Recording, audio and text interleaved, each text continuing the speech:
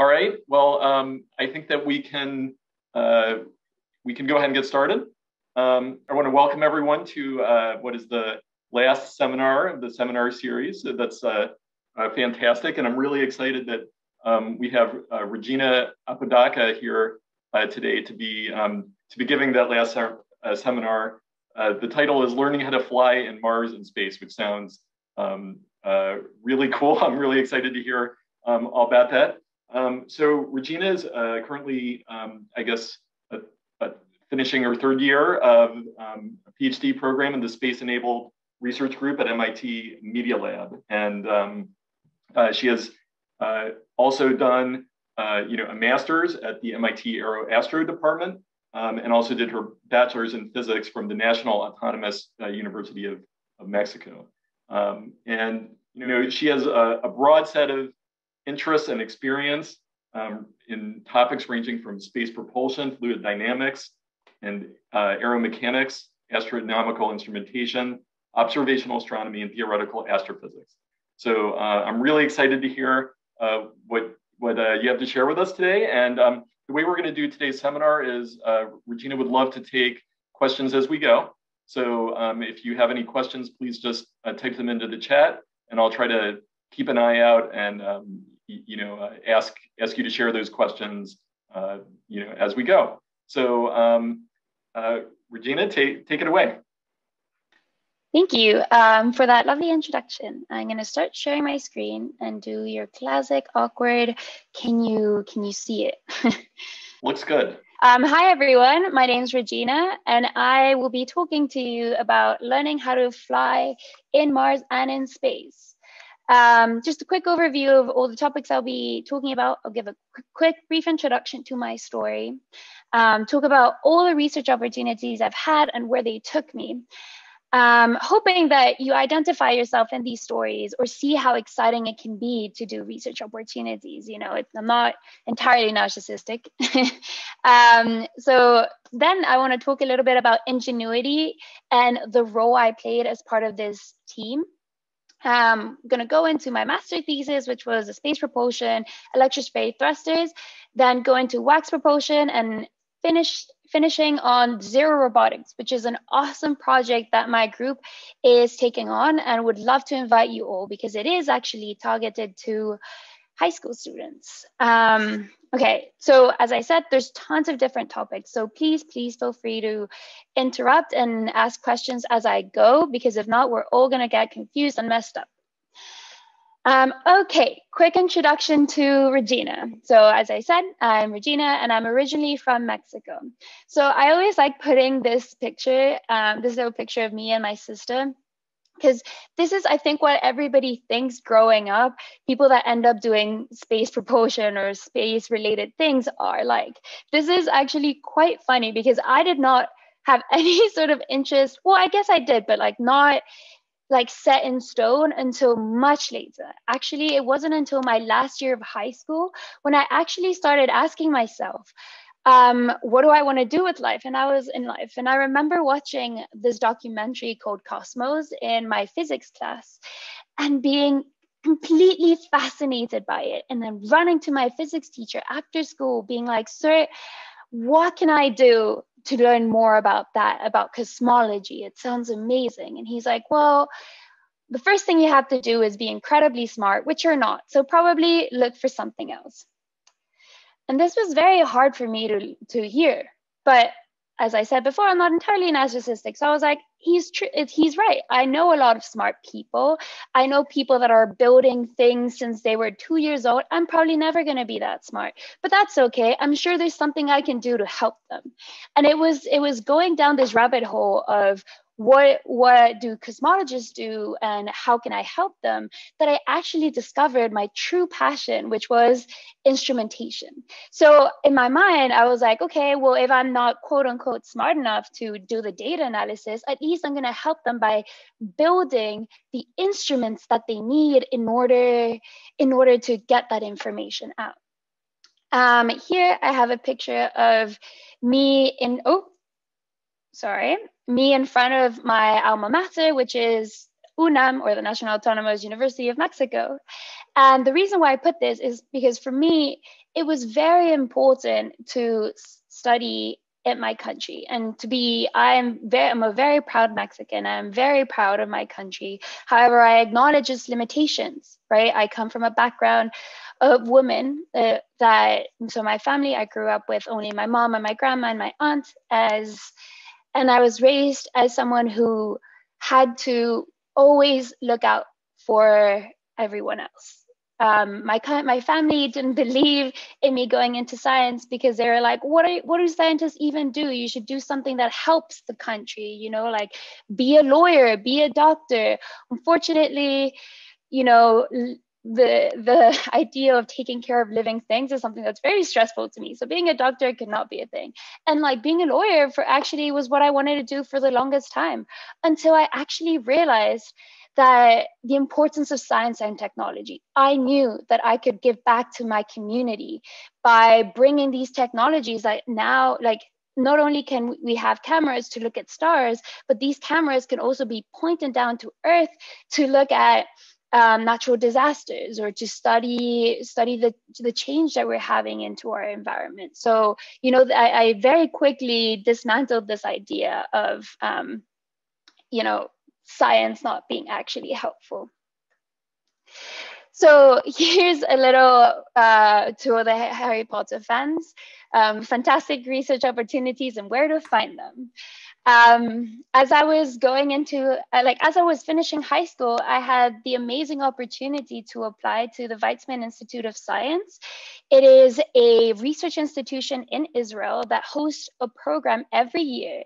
Write this down because you are actually capable of applying. It's called the International Summer School of the Weizmann Institute of Science. And it is a fully paid, fully funded trip to Israel to do research for a month. And here's a picture of the 80 students that were there. And this just truly opened my my mind not only to the type of science that we can do but also the community that you can you get to learn and meet um, so you apply and I got to spend a full summer studying about dark matter detection. Please do not ask me too many questions on this because this was so long ago and I'm no longer an astrophysicist. But, you know, it was a very important moment for me because this was the first time I was ever, I ever won anything in science, right? So it was the first time that, you know, somebody that actually knew science was telling me that they thought I, I had potential in it too. So that was very important to me. But the second most important thing I learned was not all science is what I want to do. And that was very, it was also a very important thing. Um, in this project, I was doing simulations. So, what I was trying to help was find the optimal geometry within this detector um, that like that would allow for the least level of like false detection and it was all math things sitting in front of a computer which i do a lot of right now especially during zoom times. But that was the first time when i when i realized i love science but i love building too. So that's where i realized you know i am a physicist but i may also be an engineer. My next stop was took me to a completely different part of, a, of the continent, well, not the continent, sorry, the world. And I, I actually ended up going to Australia.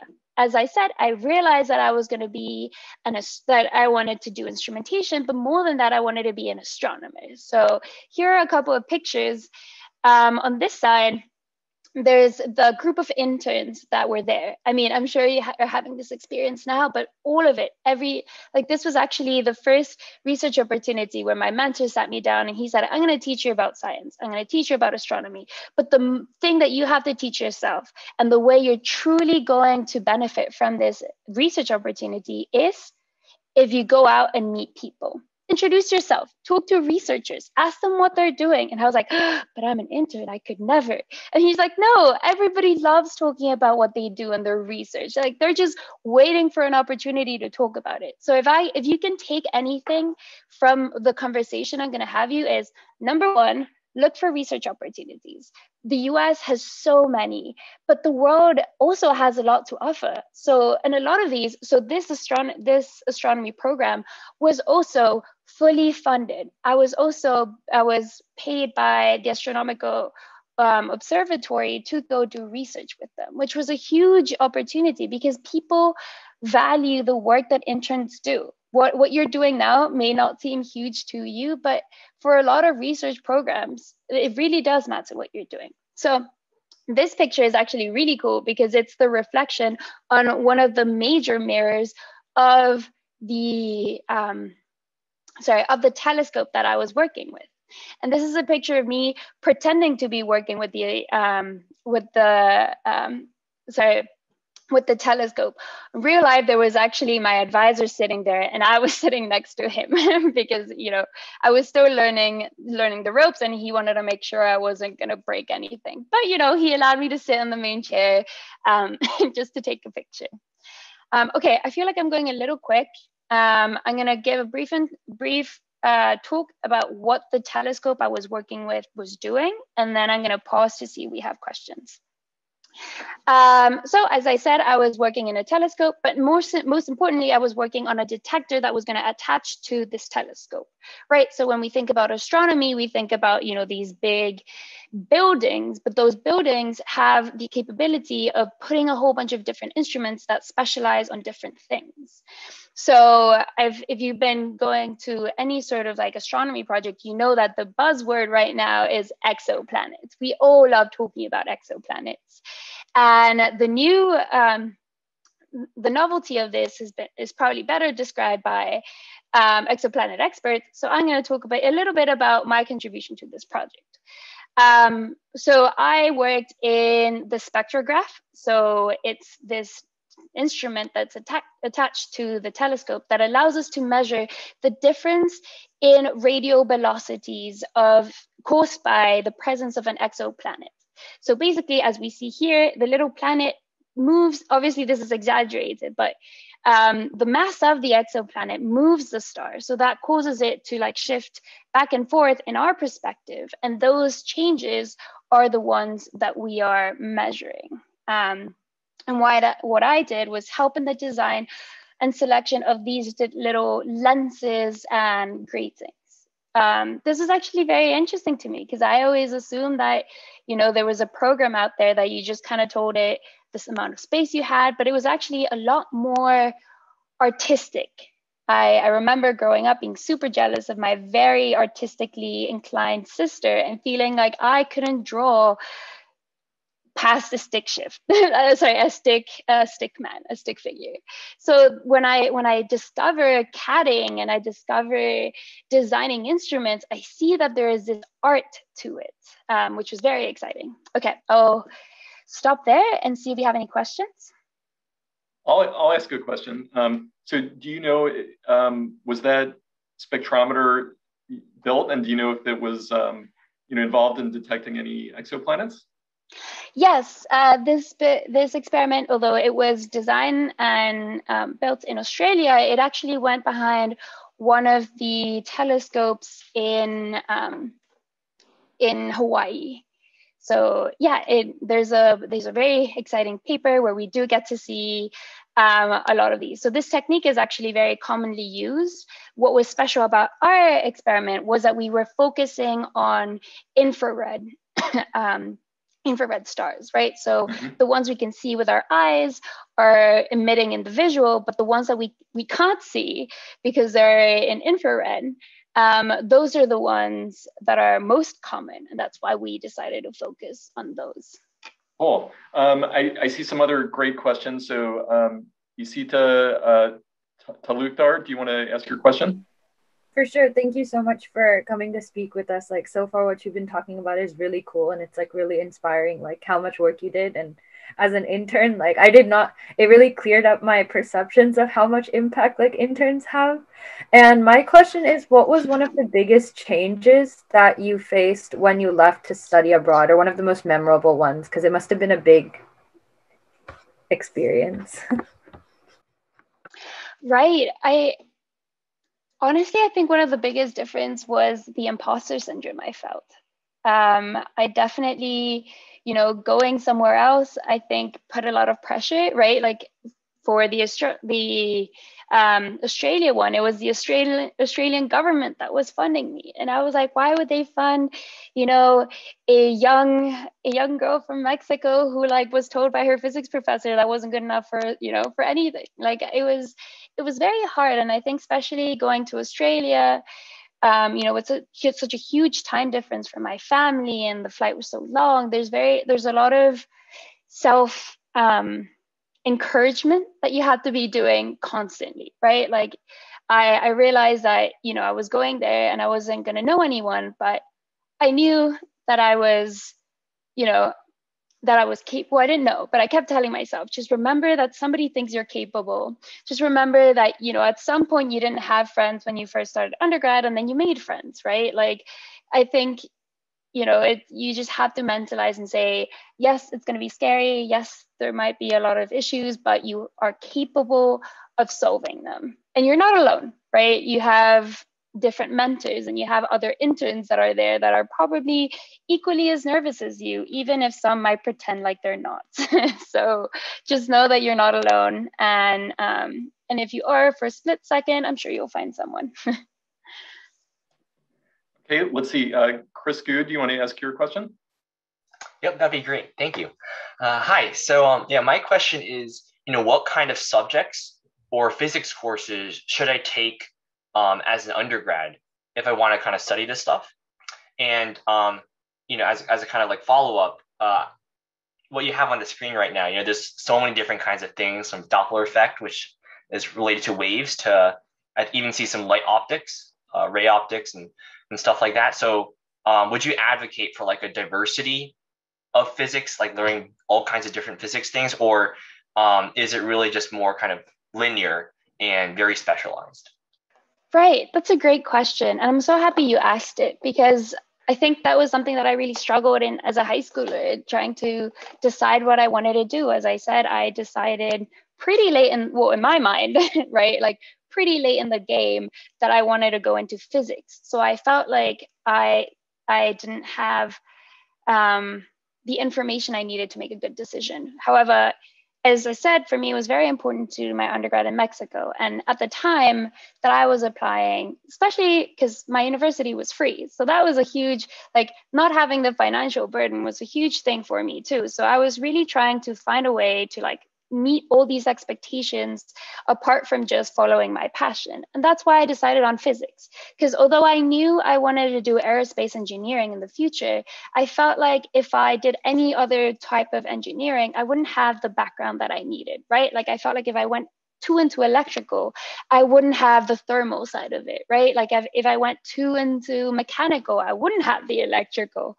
Um, so that's why I decided to do physics. I the two main um, advice that I got from my undergrad professors, and they're kind of conflicting, but I guess like the idea is just do whatever you feels right. Um, one of them was there are a lot of intro courses that are good so that you can identify if that's what you like, right? There's like intro to astronomy, intro to optics. I was someone who did all of these because I, I I wasn't sure right? Because i felt like i didn't have that previous exposure to science as you know because a lot of my when i went into undergrad a lot of my you know fellow um, students had you know professors who they had talked to and you know and i had no idea. So i was doing all this uh, kind of blindsided. Um, but then there's also the strategy of getting a lot of math in. In everything you do the hardest part for a lot of people is going to be math so, when in doubt, having a strong math background is going to facilitate moving forward.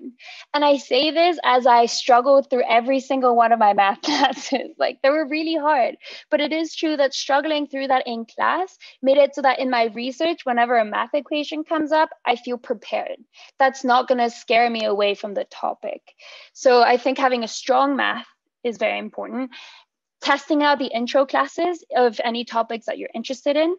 And the third and final is asking older students. I'm like you're asking students who have taken the class, um, asking them what they saw, read the read the syllabus. That is all very important because at the end of the day, this is your chance to form your own education for the first time as opposed to like high school where you're told what you have to take you're you're making your own career. So don't take anything just because somebody like says you have to do it because it's also interested and you see it as an investment on yourself.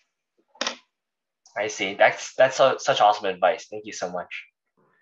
Thanks. And then um, i think there are two questions which are kind of related so I might have, you know, uh, Adarsh and um, uh, Akshata, do you, do you want to both ask your questions and then um, and then Regina can ask them because I think they're they're related?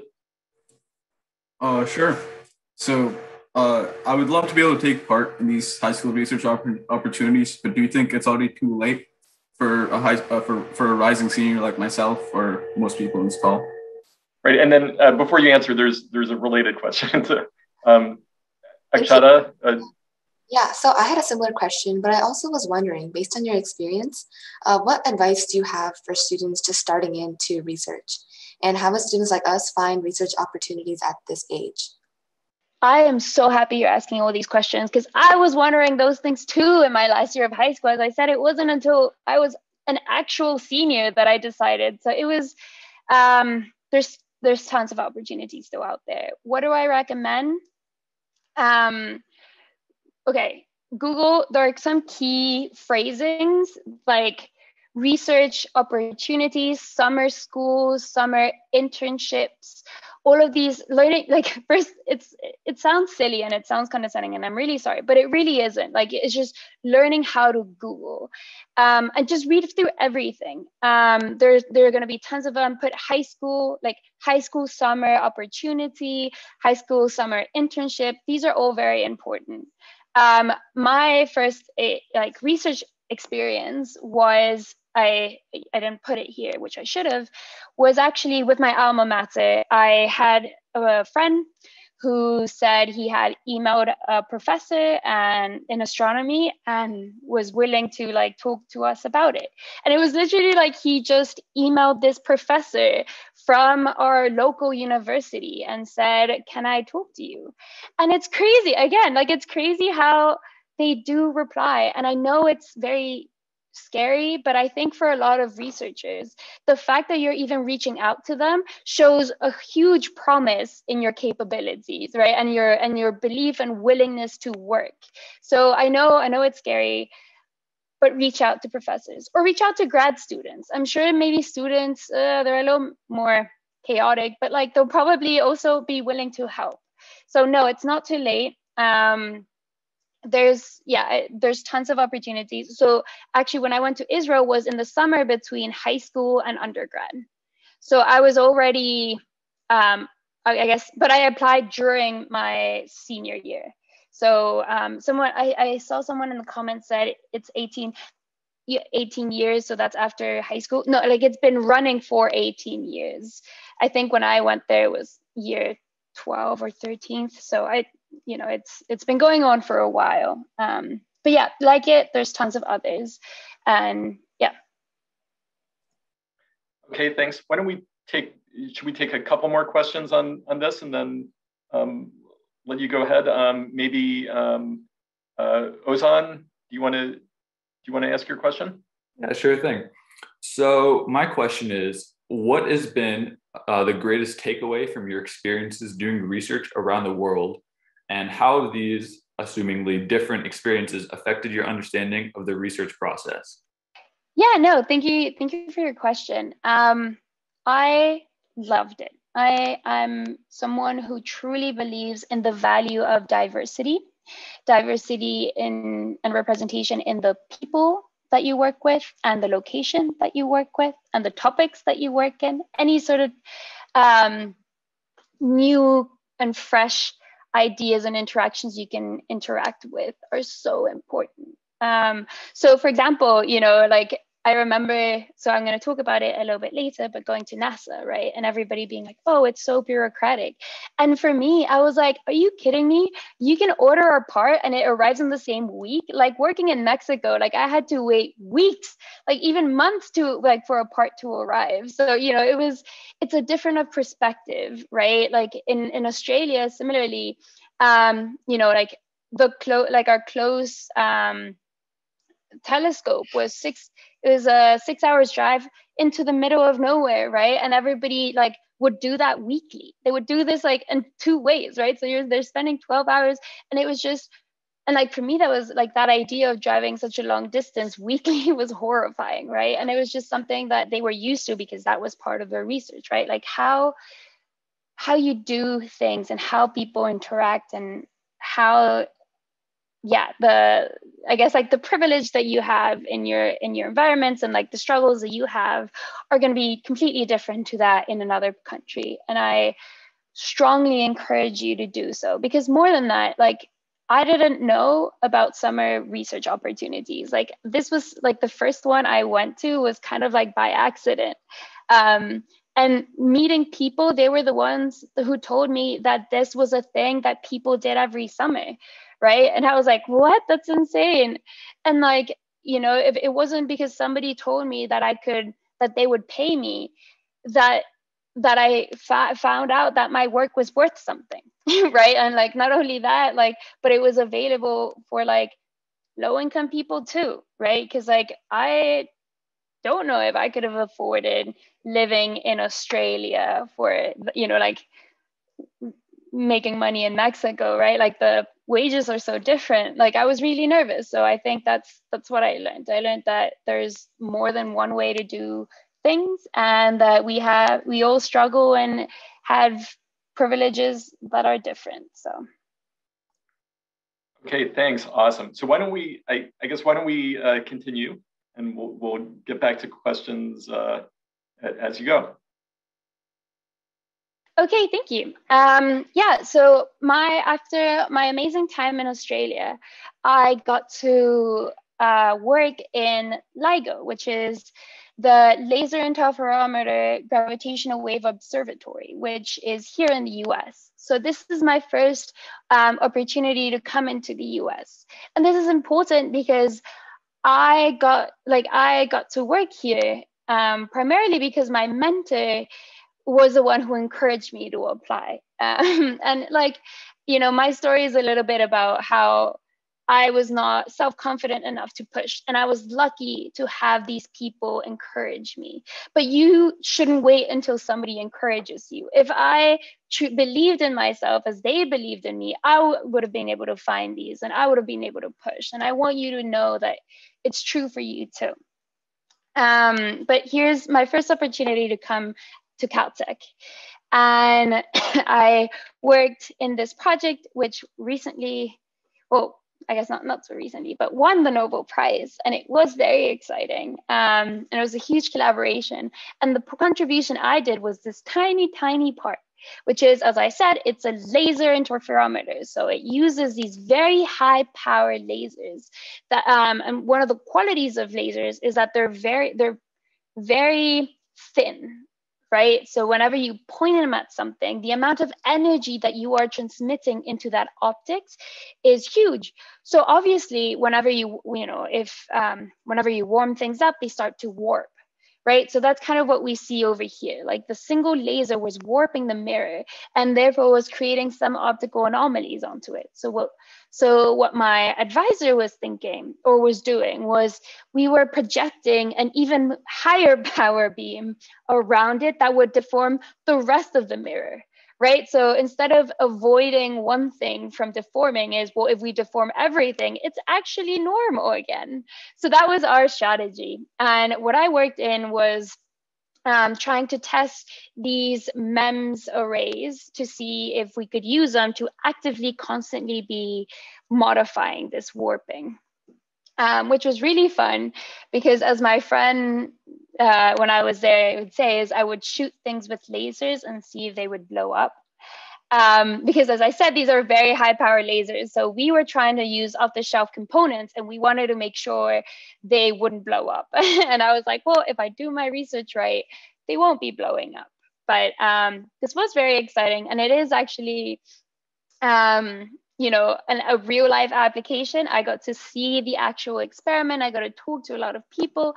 And like the best part of this story is that my best friend here in boston at mit right now was a girl that I met in this program, right? So internships and like the friendships that you make on them are so encouraging because you're for the first i don't know i guess i don't know what your experiences are for but for me for the first time i'm surrounded by people that are equally as passionate about topics similar topics as to me right? And and that leads us to feed on each other's excitement and end up in exciting places like mit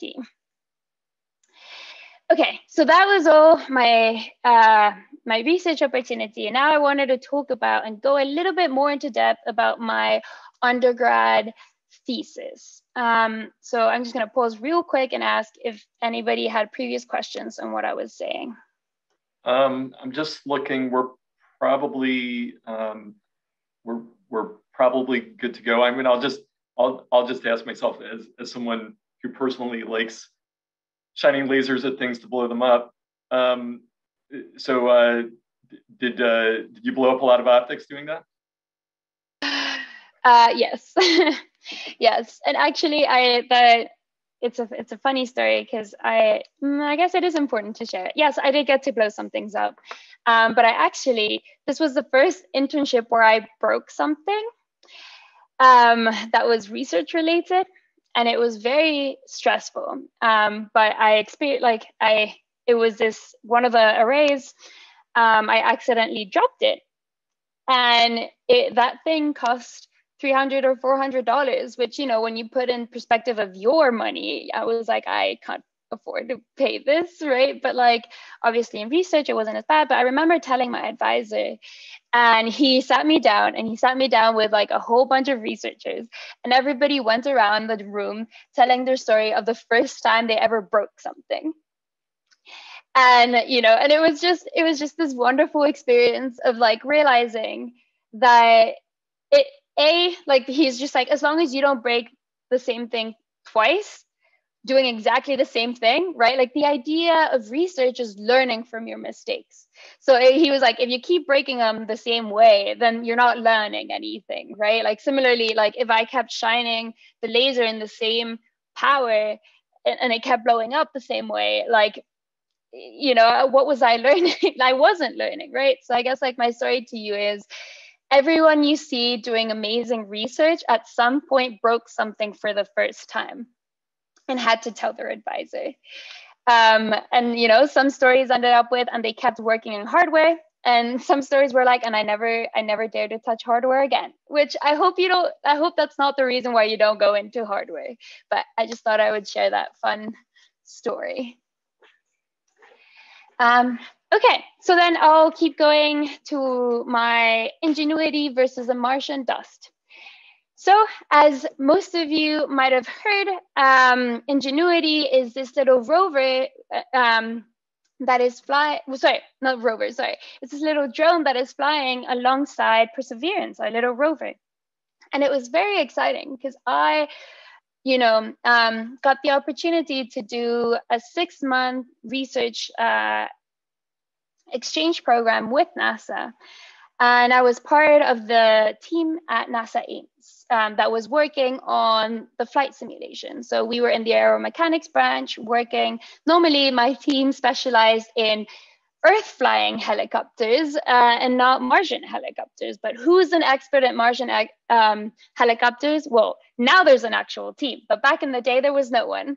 Um, so what the, what our team would do for the normal helicopters on Earth is we studied something called brownout. So brownout is when a helicopter is trying to land over sand. And it happens a lot here on Earth, right? Like especially it, with the US, with their helicopters landing in Afghanistan, um, tons of sand is lifted up and it causes a giant cloud of sand um, that unfortunately occasionally co- leads to a loss on the helicopter right? Because if you are inside this helicopter and the only thing you see is sand well sometimes it's hard to lose perception from how, of how far away you are from the ground and there's unfortunately a lot of crashes. So it's very important to us to understand how that works what what is produced and how can we make equipment that can resist that sort of dust Um, but as as our helicopter is going to Mars, what we were wondering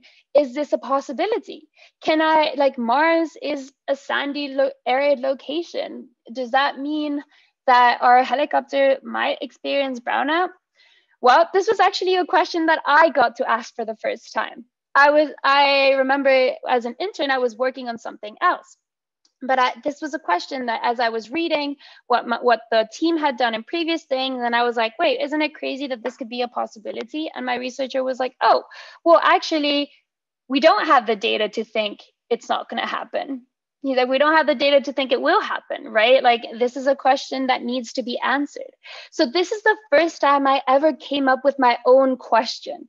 And it was I, I, like I don't know if you feel this as interns, but I always felt that I was given the questions because I wasn't capable of detecting what a good question was.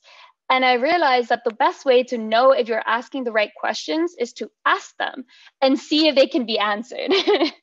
um, so that led me to my contribution in the Mars helicopter, um, which is how can we help study the dust interaction of this helicopter? And what I did were three types of experiments. So the white light dust experiment, which consisted of me designing this model of the helicopter and putting it in this box because obviously people at NASA didn't want me throwing sand all over their floors. That's why it's in a contained box. I did a laser wall experiment, which is basically the same thing, but a different type of visualization technique. So if any of you are interested in fluid dynamics, this is something that would be very exciting because I use multiple different visualization uh, methods. And this is the Tuft visualization experiment. So I'll show you a little bit of the results. So here we see, I don't know if you can see it very clearly because it's very fast. Um, but this is my little model and I turn it on and I see if it pushes any dust away. For those of you who have great eyesight, there is ever so slightly um, a change in the dust and clouds, but most most specifically, I did image analysis. So I compared an image without, you know, dust, and then the image of where I saw the biggest dust cloud, and overlapped them and took and took the difference in the pixel intensities to see if there was in fact dust. And that is what I'm pointing out here. So we saw some dust moving. The next part of my experiment was the laser dust results. So, and similarly to most of the experiments, um, experimental work, you're always going to want to compare your results to a simulation. Why? Because the better simulations we have means the better understanding and capability of doing of like of simulating what we can expect in real world so that's why it's so important to um, to compare as i said before simulations have never been my thing, but I always see them as a means to an end. So if you know how to um, how to do simulations, if you know how to program, that is an amazing skill to have. Put it in your in your resume right now. Um, if you don't, start googling how to code, and it's something that fortunately is something that you can start learning on your own. Um, so here's another experiment of my laser uh, experiment. As I said, I shun a laser wall onto this so I could have a cut, uh, a, a cut of the of the dust. And what you see, these little arrows are showing in which direction the dust particles were moving. So um, you can see it kind of twirling, which kind of coincided which, with the simulations I had. Um, and then lastly, I had these visualizations, which again were just to make sure that we were capable of simulating what we were seeing. Um, so these are actually very cool tufts because they're actually micrometers thick. They're tiny, tiny. They're like as thin as your hair. Um, but when you shine, them, shine on them UV light, their, um, their glow makes them look millimeters thick. So it makes them look a whole like a whole lot much larger, which makes it possible to visualize an effect without putting chunky things that might influence or affect the flow of the of the phenomena that we're trying to study. Um, so I'll pause there. Um, the conclusion was no, we're probably good, and you know the successful flights of our helicopter made it so made it you know um, validated all of these results. And more than that, it, valid, it validated me in knowing that I was not the reason why the helicopter did not fly. so, um, yeah, I'll stop there. Okay, any any questions on this topic? Um, I'll just ask one. Um, how did you how did you know? Was there previous information about what what the dust makeup on Mars would be like um, to to enter into your simulations and experiments? Right, this is a great question. Um, so there have been previous uh, missions to Mars. Um, unfortunately, there has nothing has ever come back from Mars, right? So we do not have um, physical things that we can test. But um, when doing the experiments, a lot of the things that you have to ask yourself, if you don't have the real Martian sand, you have to ask yourself, well, what of the Martian sand am I trying to represent here? Right? Like I w- I wasn't trying to represent taste, right? Because that didn't pay into um, into account into this, so I didn't have to match that. So I knew that what I had to chat, what I had, what I had to match was Mars has a very different atmosphere than the one we have here on Earth, right? Mars um, atmosphere is primarily CO2, while here on Earth we have nitrogen and a whole bunch of other things. And that difference in density of air um, versus the density of the sand that's what I was studying. I was studying this interaction and difference between size particles and densities. So I had to make sure that what I was doing experimentally was matching those properties of the sand, which you're never going to guess what it was. So the simulant that I used to simulate Martian sand here on Earth was crushed walnut shells because it was it was light. And that's and that's what represented the density and the you know the difference in gravity and the difference in and it was just you know this like crazy complicated simulation that we were thinking could be reduced to something that apparently is also used for cosmetics. I was very confused but the only place i could buy it was through this pharmacy. And i was like what do people use this for? So you know a very exciting um, when you bring down the science, you really notice that it's not as it's not as complicated as we think. okay, um, let's see. Uh, there's a question from uh, Joseph. Do you want to ask your question? And by the way, I also just want to mention it's about uh, 116, so there, there's probably about 10, 10, 12 minutes left. So just uh, to keep in mind. Uh, yeah, thanks. So, uh, yeah, I also did some research into like Martian gliders, not the Martian helicopter, but I did do some like reading into that for my literature review. And one of the problems that um, I was looking in the paper was that different Martian seasons, basically, um, basically the the Martian the Ingenuity uh, helicopter takes like almost a day to charge up the battery for like just three minutes of flight time. So I guess using your software, how do you like um, how do you like simulate different uh, temperatures and seasons? Obviously, because you can't really fly in all seasons because uh, Martian like the seasons are different from the Earth. And um, are you how are you able to like detect the temperatures of those particles and um, like the densities? Yeah.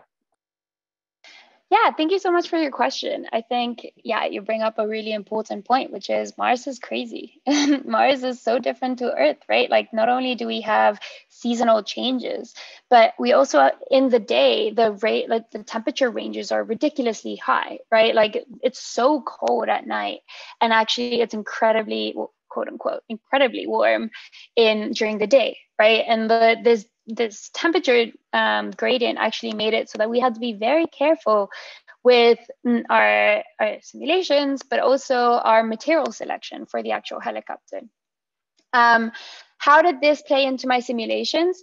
Well, um, the temperature and the, the temperature played a role in the density of the atmosphere. Um, and um, I guess that's mainly the, that's the main differences that I, I'd say came into my into my role right? Um, you're right it does take a really long time to charge which meant we had to make sure that we were very efficient in the time that we did have to fly.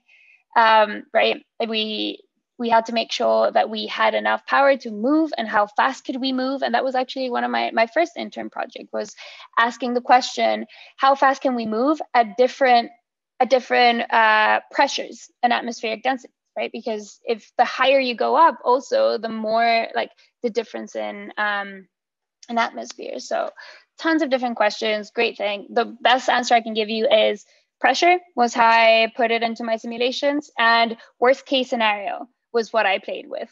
So for me, obviously, when there's like the density of the air is less, then the less likely we're going to be lifting up um, dust. So when it's higher, that's when I was asking myself, okay, what if we have great, um, you know, like great wind, small particles, everything is made so that it can we can lift dust. How bad does it get? and that's what that was a question I was answering, and the answer was not that bad, but yeah.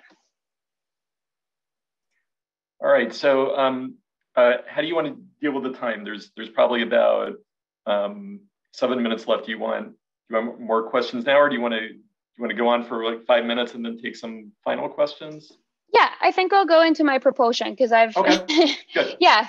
So part of my my talk was you know f- learning how to fly in Mars. So this was me learning how to fly in Mars. But the next part of it is how do we fly in space? So um, for my master's thesis, I worked in things called electrospray thrusters. And electrospray thrusters are these tiny, tiny thrusters. They look big in this picture, but think of a quarter of a coin, like a, sorry, a quarter coin. Um, and that's actually bigger than these little than these little guys. It's a 10 centimeter by 10 centimeter uh, little thruster. And the idea is that this can help move CubeSats. So CubeSats are these little, sorry, is one centimeter by one centimeter. The CubeSat is 10 centimeters by 10 centimeters units. Um, and the idea is to modularize um, spacecraft right um, whenever we think of like these big missions i heard that i heard you got a talk from tess and tess is an enormously big project right like we're talking satellites like the hubble was like the size of a school bus right where these these satellites not only make it incredibly difficult to get anything up in space but also incredibly expensive right so the smaller you can make things the more accessible and financially sustainable they are um, so this this project is well was part of the Space Propulsion Lab, the pro- the lab where I did my undergrad thesis. And what we were trying to do is create an alternative um, propulsion system for these systems. And if we if why is this important? Because if my little cubesat can do and can move as much as a big satellite then that means that i can do very important and interesting technology. And this is huge because nowadays there are universities that can afford this. But uh, not only that a lot of a lot of countries that for the longest time have not had access to um, you know, to space are now starting to produce their first Earth observing satellites, right? And they and they like to study things that benefit their countries, like how is their climate changing, and you know, find and there are companies that are trying to find a way to provide cheap and accessible internet to all the world, right? Eh, we might have our difference in mentalities, but all of this is pushing technology um, to the limit. And what the Space Propulsion Lab did was use what the electrospray thrusters mentality. So this is think fluids with elect um, with um, electro electrostatic um, fields, and basically what it what this is happening is we had these cores um, tips through which are what we call ionic liquid, which are just liquids that have free ions within them would would go um, would go up through them through capillary forces, and then they were extracted out by putting them in an electrical field. Um, this electric field, as I said, would pull out the ions based on their charge, and that is that ion is what we threw out of the um, out of the uh, thruster, right? Like if you think about conservation of momentum, you're all high schoolers, so you probably have heard of this. The idea is that you have ma- momentum is mass and velocity, right? So if um, what basically what we do in propulsion is we throw we throw out of our um, out of our rockets tons and tons of mass at very high velocities. However, because the mass of these things is so heavy, applying them or throwing large amounts of velocity, putting applying a lot, a lot, a lot of velocity onto um, these particles is very hard. However, ions are as big as electrons, right? We're talking about these tiny things that we cannot see. So making something so light move incredibly fast is the technology that is used in these systems. Um, however, I realized that while working on this project was that I love propulsion, but I, I don't have the patience to work with very tiny things.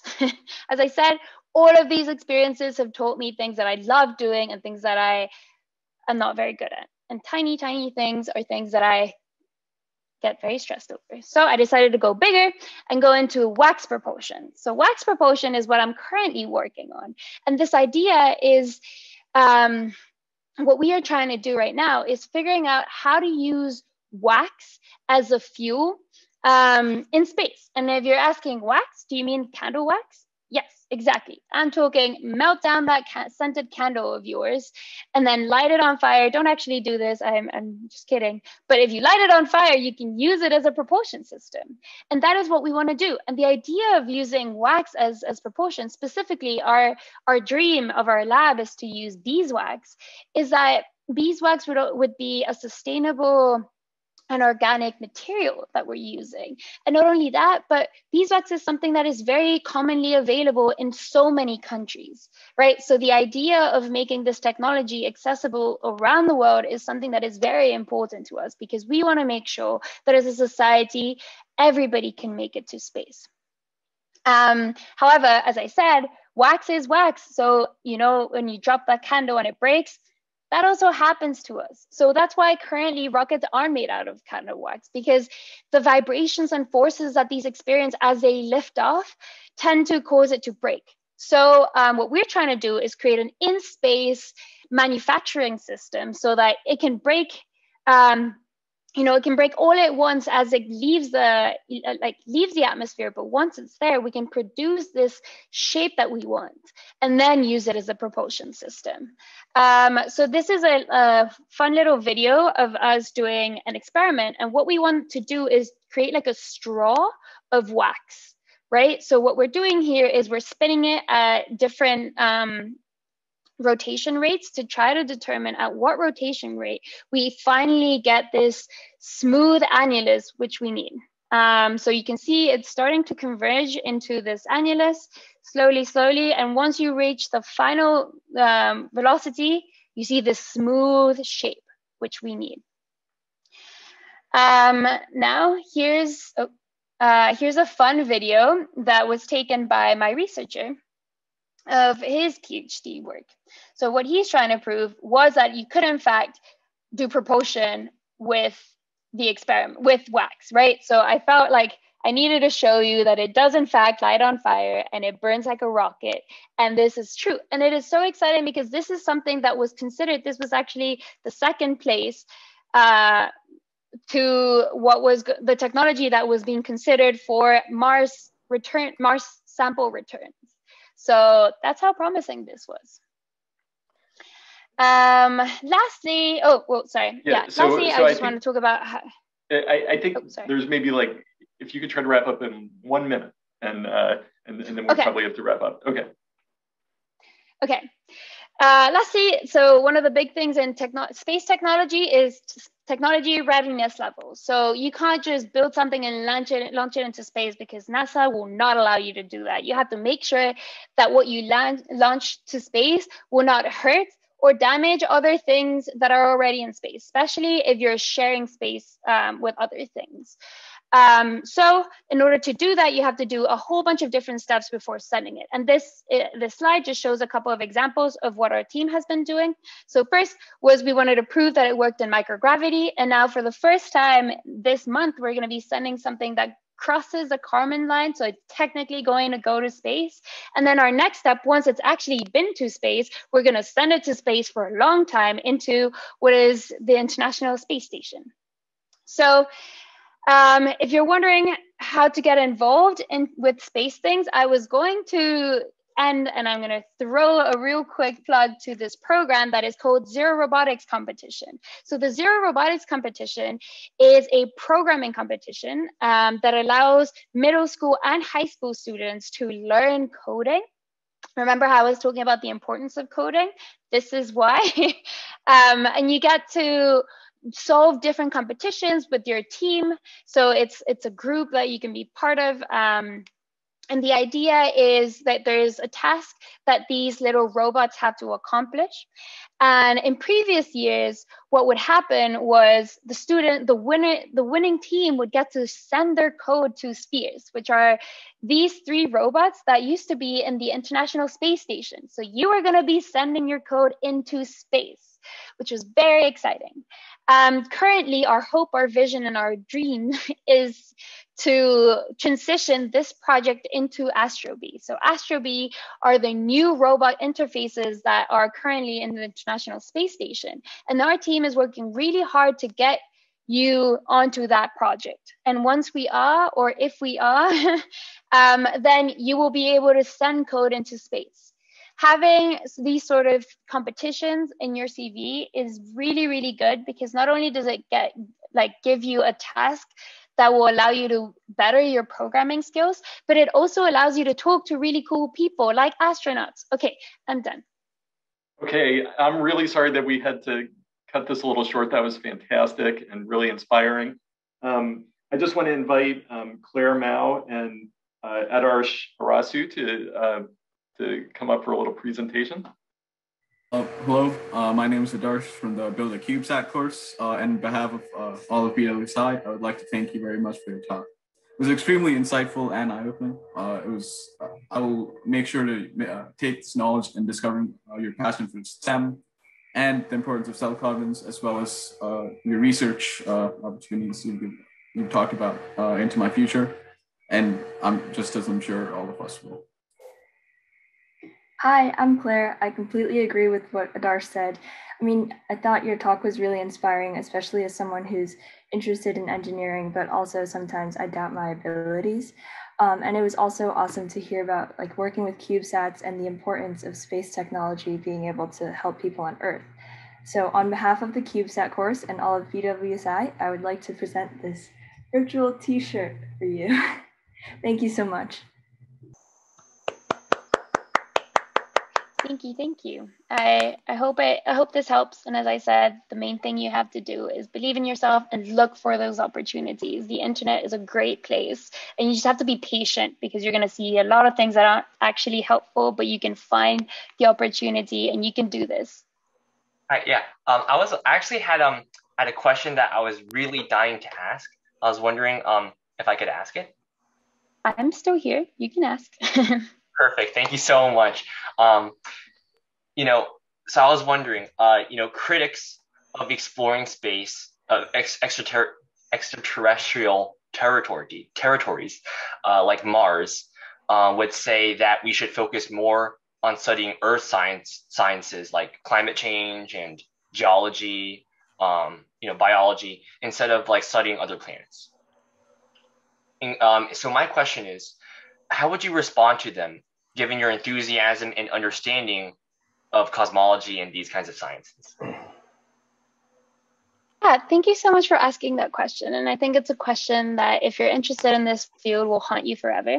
And I think the best answer you can give is ex- space exploration touches an inherent human need to explore, right? Like we have always wanted to know more and go further and learn new things, right? So the thing is, when we decide to do something as challenging as go to Mars, the technology that we need we need to develop in order to do that is huge. It's enormous, and in a way that we don't even know what sort of impact it's going to have. The best expert, like the best way um, I have to like exemplify this is digital cameras. Digital cameras were originally designed for astronomical um, purposes. They were used to look at stars. And now imagine seeing this conver- this whole conversation without being able to see my face. It's you know like it's it's crazy the applications that technology once it's out there it can can do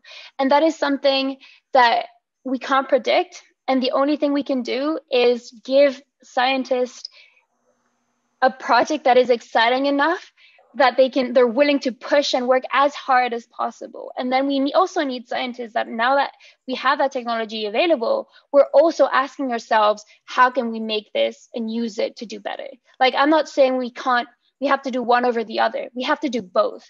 And there's luckily enough people that are smart enough and interested in both of them right so there's there's no need to think that you can only do one or the other we can do both and we have to do both in order to solve the big questions like how do we you know stop climate change wow i see that's a really awesome you know response you know i don't really doing both. That's a that's very very um cool. And then um just as a fun question, you know, this year I took um mechanics and electro E and M, electricity magnetism. Um, so when I do when I go to college, I can go straight into you know second year courses, right? Um, so I'm you know I'm curious, what uh second year physics courses do you recommend I take? Um, so my program was different, right? Because I didn't, I did it in Mexico, and the way it works in Mexico is our first two years were all math courses, um, and then the the next couple of years you do physics, right? So I think the first thing I would do is get those math courses in, um, because they're gonna make your physics courses that much easier. You're gonna hate the first couple of years, but then, but then you know everything will be just be so much easier. Um, and again, I think also getting all the skills that you need early helps. So any sort of like programming class that you can take, um, yeah, any any of these will help you in the future. Thank you. Thank you so much. Thank you. Bye, thank you. Thank you. So much. Thank Thank you. Thank you. Thank you.